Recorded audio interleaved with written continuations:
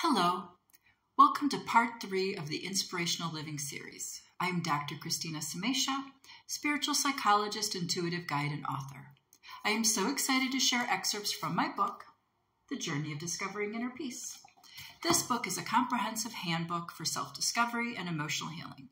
Whether you are new on this path or continuing your work, this book will provide you with valuable tools and wisdom.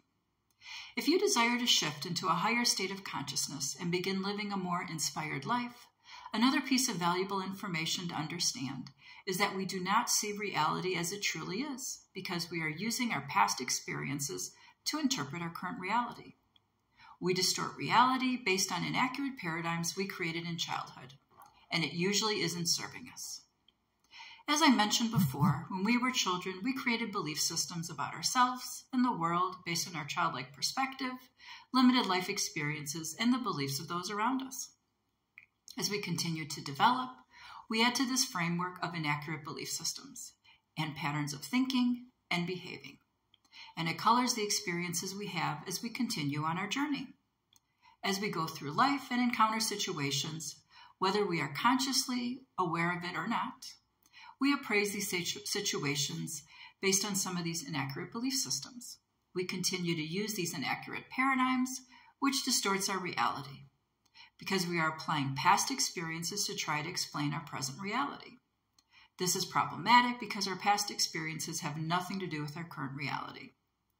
Our brain is to, designed to register and perceive information that, that fits existing paradigms created in childhood. Once we have created a cognitive foundation, as an adult, it is difficult for our brain to store information that is unique because it automatically wants to categorize it into something which is already familiar. In fact, information that does not fit what is already there is not registered. Our brain uses past information to interpret reality, and it can mutate it to fit these constructs. This explains how challenging it can be to change existing belief systems but it can be done by expanding our paradigms and creating new ways of interpreting information and being more mindful of this process.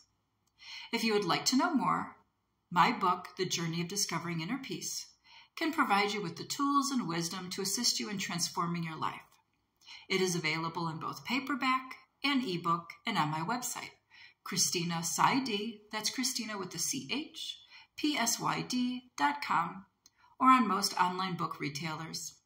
Stay tuned for more inspirational living tips. Sending all of you peace and love.